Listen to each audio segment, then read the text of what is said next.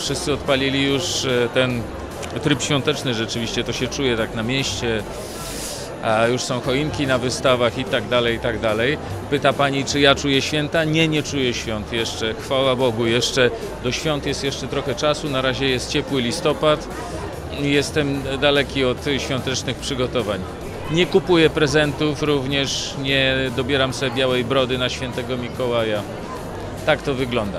Ale oczywiście, jak się patrzy na Tomka Karolaka w stroju świętego Mikołaja, to przechodzi przez myśl taka, taka myśl przez głowę, że, że do Wigilii coraz mniej dni zostało.